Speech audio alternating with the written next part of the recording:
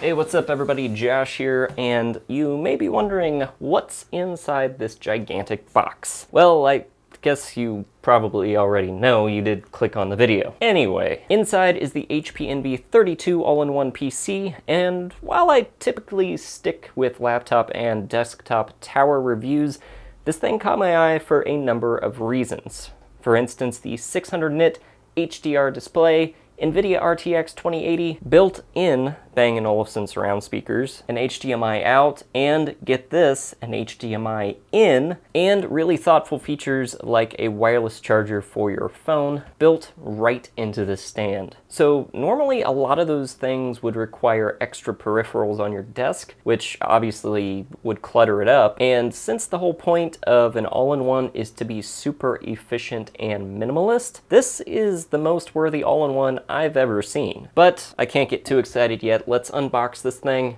run some benchmarks, and we'll see what we've got. All right. Oh, that is so big. All right, we have, what we got? Okay, we got the, uh, the mouse and keyboard here. This is a wireless keyboard with four AAA batteries, looks like. And there's actually a little stand in the back of this keyboard, which I'll demonstrate later, where you can put like a tablet and a phone if you want to like multitask. Really cool. Over here we have, let's see, this is our power cable and our power adapter, 330 watt power adapter.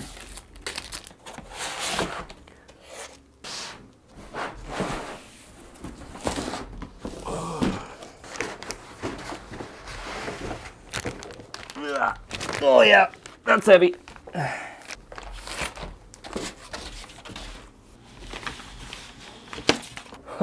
Oh, look at that. That is sweet. Kind of like this sweet impact shirt from Into the AM. They've got all kinds of really cool psychedelic designs.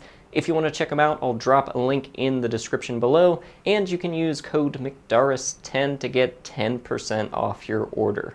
So before we get too far into it, let me give you our specs. We got an Intel Core i7 9700, 3 gigahertz up to 4.7 with Intel Turbo Boost. We have integrated and discrete graphics. Our discrete is an NVIDIA GeForce RTX 2060 with 6 gigs of dedicated RAM. I think I said 2080 earlier, but you can get it in a configuration with that 2080. For the display, we have a 31.5 inch 4K IPS HDR display with a big ol' 600 nits of brightness, edge-to-edge -edge glass. It displays 98% of DCI-P3. We have 16 gigs of DDR4 2666 upgradable to 32 gigs. Unfortunately, not a lot of room to upgrade there. On the flip side, you do have two M.2 expansion slots, one for an SSD and one for wireless LAN. For storage, we have a 512 gig Intel SSD and also a 1 terabyte 7200 RPM drive for extra storage. Of course, we have gigabit Ethernet, Wi-Fi 5, and Bluetooth 5. So one of the first things I wanted to check out was these surround speakers. They're made by Bang & Olufsen,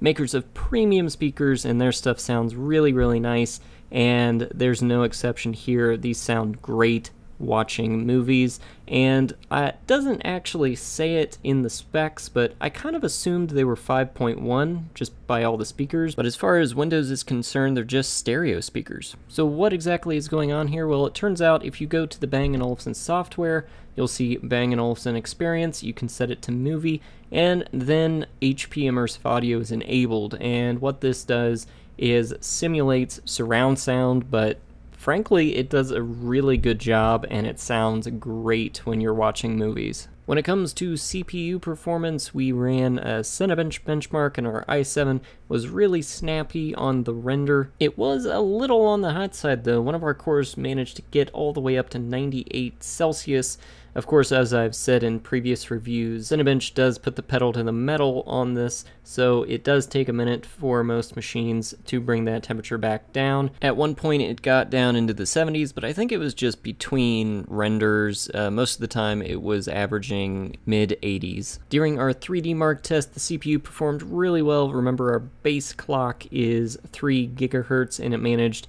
4.5 throughout the test. You got a little bit of gaming performance here. You got 55 plus FPS on GTA 5, 60 plus on Fortnite at 1440p Ultra. Red Dead Redemption 2 came in under 30 FPS at 1080p Ultra, so you're not going to be able to do any crazy gaming on this, but if you're a creative that's also a casual gamer, this is definitely an option, especially if you get that 2080 model. So as I mentioned earlier, you can use that slot on the back of the keyboard for a phone or tablet, or both, to multitask, which is really handy. And another really handy feature is the wireless charging. It's just that little point on the base of the machine you just put your compatible phone on there and it charges it up. As far as the keyboard goes, this is a premium keyboard. It feels really nice to type on. The mouse, on the other hand, while it is a good mouse, there's nothing wrong with it. It's a standard three button mouse. It's just not my favorite. It's, it's a pretty standard uh, three button optical. In the very top, hidden inside the machine, is a pop-up webcam. This is a 5 megapixel webcam with dual field mics, really handy for Zoom calls. And on the sides, we have our power button and USB. This is really handy to have these on the side and not just on the back.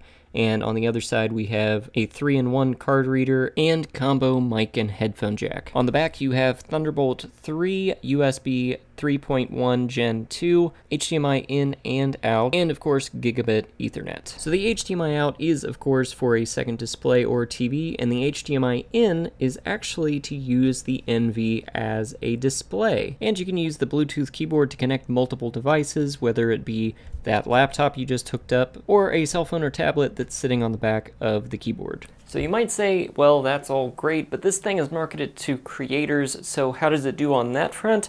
Well, it actually performed pretty admirably on our Photoshop and Premiere Pro tests, and rendering a 7-minute HD project to 4K only took about two and a half minutes. Just keep in mind that's without effects, and I'm working with a pretty low bitrate, but even so, this hardware is gonna get you pretty far. And one last really cool feature I'll mention, there's a shortcut button on the keyboard to activate pairing for the Bluetooth speakers so you can connect things like a smartphone to play music, which is super, super cool. This is one of the most versatile all-in-ones I've ever seen. Well, computers, I guess, I've ever seen. And it's definitely worth a look. If you want to check it out for yourself, I'll drop a link in the description below. And don't forget to check out this sweet shirt from Into the AM. And don't forget, anytime you use one of my affiliate links, you help support the channel. But that's all I got for today, so thanks for watching, and I'll see you next time.